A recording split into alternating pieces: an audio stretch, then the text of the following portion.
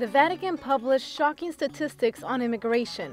In the first five months of this year, at least 1,820 illegal immigrants died while trying to cross the Mediterranean.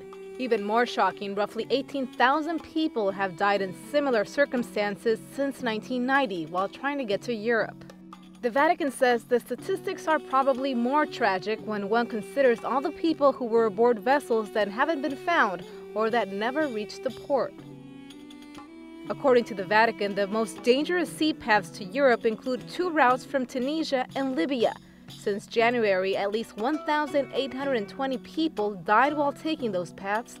Over 1,600 of them were from Libya, the rest from Tunisia. With these numbers, the Vatican says one cannot be silent. The president of the Pontifical Council for Immigrants, Archbishop Antonio Maria Veglio, said controlling the flow of immigration is necessary but it must be based on principles of solidarity. He recalled that, quote, these illegal immigrants are men, women, and children fleeing war, human rights violations, and persecution. Often, instead of finding a safe place, they find death. He also urged the international community to consider safe humanitarian routes to ensure that people can travel safely.